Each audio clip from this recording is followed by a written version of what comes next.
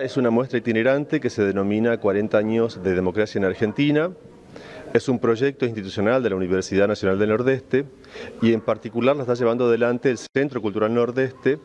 Y te decía que es itinerante porque ya estuvo en el campus de Resistencia toda la semana pasada, ahora se hace presente en la Facultad de Arte y Diseño y después sigue por otras unidades académicas y relata, eh, en este caso particular, que es la primer parte de la muestra, eh, relata el, proceso militar y la segunda parte de la muestra va a contar eh, todo lo que fue la, la, consolidación y la llegada de la democracia en Argentina hasta el juicio a las juntas. Y es importante porque es una manera de visibilizar a través de imágenes fotográficas del Archivo General de la Nación, eh, a través de imágenes contar este, lo, que, lo que fue este proceso oscuro de la dictadura militar para nuestro país, pero además eh, tiene valor porque estamos mostrando estas imágenes a jóvenes que están en esta casa de estudios, que nacieron en, ya en democracia y lo que han conocido lo conocieron a través de los libros de historia.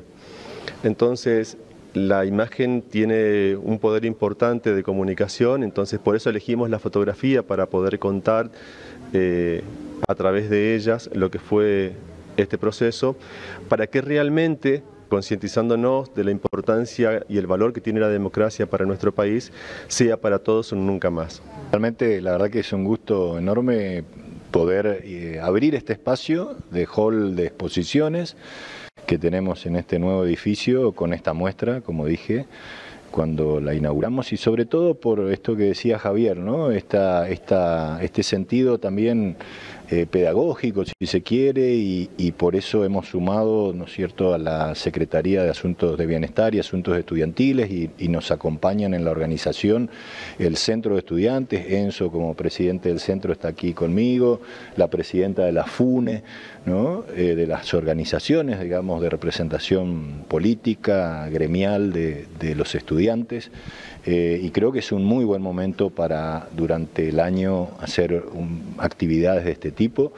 Eh, vamos a, seguir eh, en ese camino y bueno, por supuesto muy agradecidos y el reconocimiento a la Secretaría General de Extensión y al Centro Cultural por este armado, que esta es una primera parte y seguirá este, en proceso durante, durante todo el año. Varios días, varias, un par de semanas seguramente, luego va a otros lugares.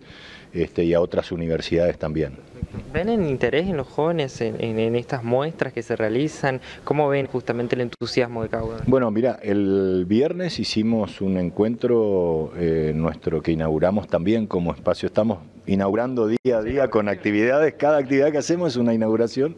Este, hicimos en el Zoom, en el tercer piso, nuestro espacio, digamos, de auditorio una proyección de un documental de este, Malvinas que hicieron nuestros estudiantes de la Tecnicatura de Diseño de Imagen, Sonido y Multimedia, que además ganó el Festival Regional del Huácaras el año pasado.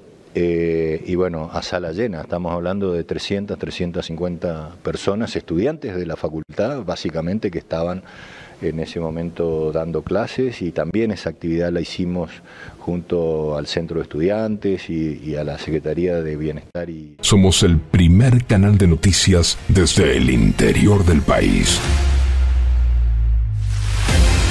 Transmite desde el histórico Chalet Rapaccioli, Resistencia, Chaco, Norte Grande Federal. Somos periodismo con historia.